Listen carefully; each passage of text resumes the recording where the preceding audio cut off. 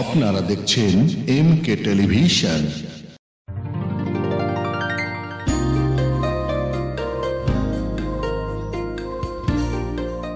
এমকে টেলিভিশনকে আমার তরফ থেকে অনেক অনেক শুভেচ্ছা। ধন্যবাদ।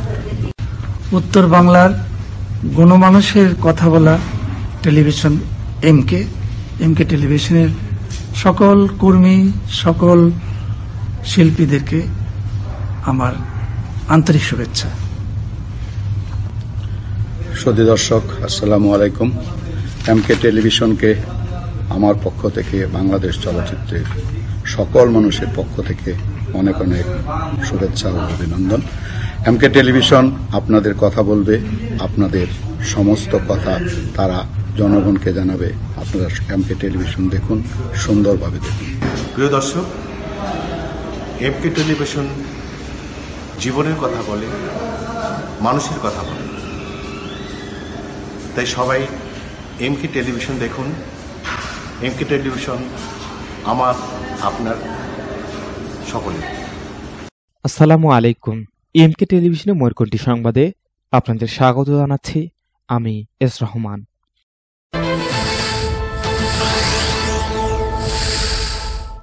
বেনাপোল বহুমুখী মাধ্যমিক বিদ্যালয়ের নবনির্মিত ভবন ভিত্তিপ্রস্তর স্থাপন, মা সমাবেশ ও নবনির্বাচিত সংসদ সদস্য হওয়ায় আলহাজ শেখ আফিলুদ্দিনকে বেনাপোল হাই স্কুলের পক্ষ থেকে সংবর্ধনা প্রদান করা হয়। রবিবার বেলা সাড়ে এগারোটার সময় বেনাপোল বহুমুখী মাধ্যমিক বিদ্যালয়ের নবনির্মিত চারতলা বিশিষ্ট দুটি একাডেমিক ভবনের ভিত্তিপ্রস্তর স্থাপন করেন শেখ আফিলুদ্দিন এমপি। বেনাপোল বহুমুখী মাধ্যমিক বিদ্যালয়ের প্রধান শিক্ষক জুলফিকার আলীর সভাপতিত্বে ও স্কুলের শিক্ষক মুখলেসুর রহমানের সঞ্চালনায় মহাসমাবেশে শেখ আফিলুদ্দিন এমপি বলেন, এই পৃথিবীতে মাই সন্তানের সবচেয়ে আপনজন। মাই প্রথম এবং শ্রেষ্ঠ শিক্ষক। তাই জন্মের পর তুমি মা তোমার সন্তানকে আদরের সাথে যে স্বপ্নগুলি দেখিয়েছিলে তা ওয়াদা ভেবে বাস্তবে রূপান্তরিত করো। তাতে সারসা উপজেলার সকল মা বাবা তার সন্তানকে সুসন্তানে পরিণত করতে আর্থিক কষ্ট পেলে তার কিছুটা দায়ভার আমাকে দিও।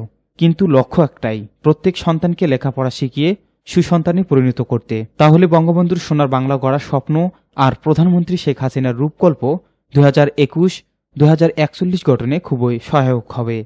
শেখ আফিলুদ্দিন এমপি আরও বলেন, আওয়ামী লীগ সরকার আমলে দেশে যে পরিমাণ উন্নয়ন হচ্ছে তা দৃশ্যমান। প্রতিদিনই দেশের কোথাও না কোথাও প্রয়োজনীয় উন্নয়নমুখী বিল্ডিং, ব্রিজ, রাস্তা, শিক্ষা প্রতিষ্ঠান, মসজিদ মন্দির সহ নতুন ভবনের উদ্বোধন হচ্ছে। যা চলমান থাকলে প্রধানমন্ত্রীর রূপকল্প দুই হাজার একুশ দুই বাস্তবায়ন হবে। আমরা হব উন্নয়নশীল দেশের বাসিন্দা। তাই উন্নয়নের এই ধারাবাহিকতা ধরে রাখতে শেখ হাসিনার নেতৃত্বে আওয়ামী লীগ সরকারের পাশে দাঁড়াতে হবে। তৃতীয়বারের মতন এমপি হওয়ার পর আমি চ্যালেঞ্জ নিয়েছি শাস্য উপজেলার প্রত্যেকটা বিদ্যালয়কে ভালো মানের শিক্ষাদান করার জন্য। এটা আমার চ্যালেঞ্জ এবং আপনারা জেনে রাখেন গত সপ্তাহে আমি স্কুল এবং কলেজ দুইটি মিটিং আমি ইতিমধ্যেই সম্পূর্ণ করেছি।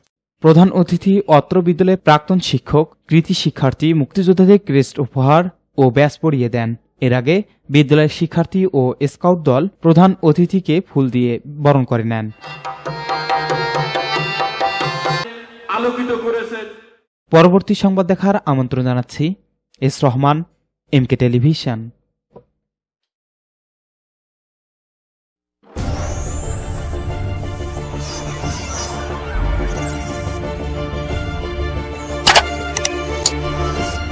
আপনারা দেখছেন এম কে টেলিভিশন।